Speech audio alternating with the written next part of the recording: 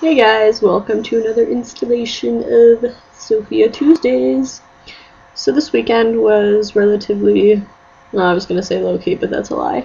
Um, Saturday through part of Sunday, I was at Boston University visiting my friend, and it was the Celtics game Saturday night, and if you don't know the outcome, then shame on you.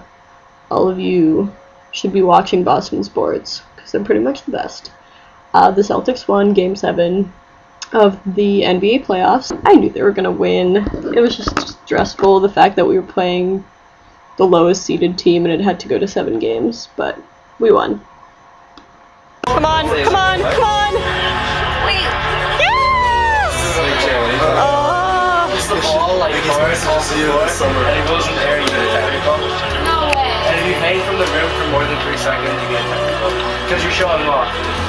I know, bouncing it out of the air, you do it. No, you do it in the air, like to celebrate. Also, at my stay, I saw some interesting people.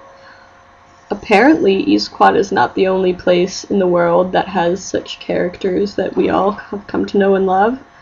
Um, at around 4 in the morning, when a bunch of us were sitting in a common room, this person kept walking by in his boxers to the bathroom and back, and he did this several times. So, luckily, I had my camera handy. And you probably don't think I did it, but I went there. The problem is with the converter.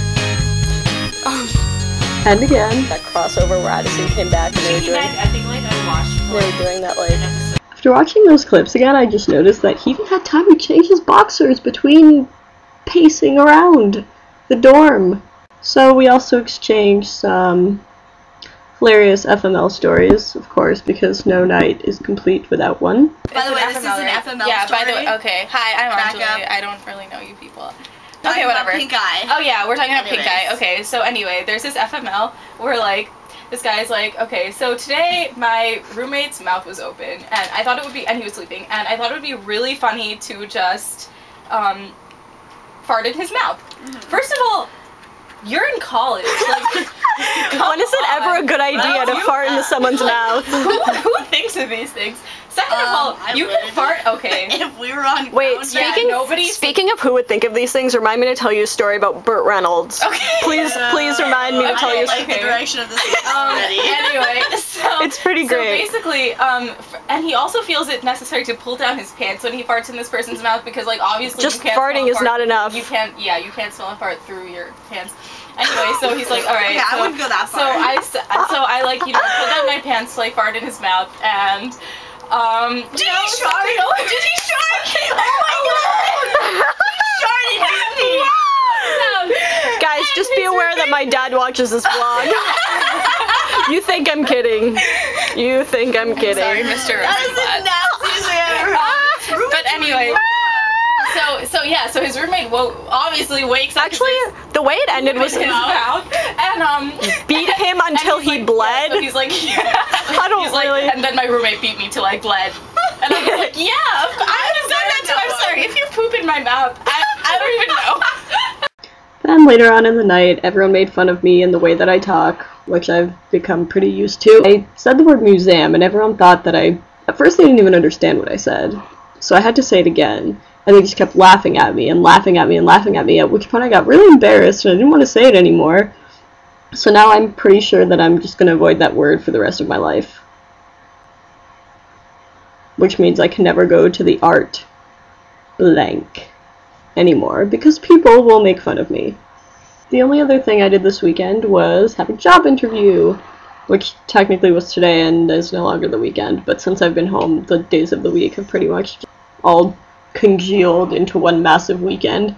I took the train downtown and went to my interview, and I tried to get some footage of downtown uh, since I got there early, but it's kind of crappy, so I'll have to do a better job next time when I get the chance. So, roll the footage.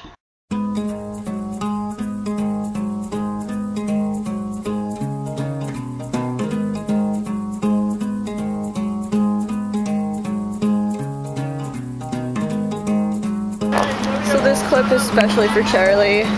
There are a ton of pigeons here right now. all over here. They're really mean too, and they're they're kind of like the the Diag squirrels, I guess, in the fact that they're practically domesticated. So I'm just standing here talking to myself right now. That is the State House. Um, it's got a oh god, guys, sorry. Um, got a gold dome on it, and someone just totally thought I was taking a picture instead of a video. No big deal. So I ended up getting the job.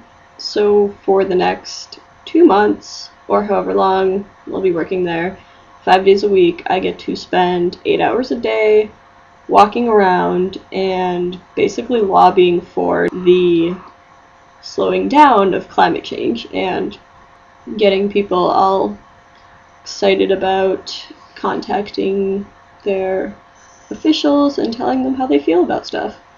And for that, I'll be paid 8 to $10 an hour, which is not that bad. I'm a little nervous because I'm basically becoming the person who I avoided on the Diag for this entire year. But we'll just have to see how this goes. Not to mention, by tomorrow, I have to memorize a sheet of paper of things I'm supposed to say to people when I approach them. It's basically like, Hello, my name is blank, and I'm from blah blah blah blah blah blah. So, I should probably do that soon because I have to be there at noon. I really don't have much else to say other than the fact that I apparently registered for a Hebrew class for people who are not complete beginners. So, good for me. I'm awesome and smart and all of the above. Hopefully, I'll have lots to tell you on Saturday about my new job and things of that nature. But for now, I have to go do my homework. I miss you guys a lot, and um, yeah.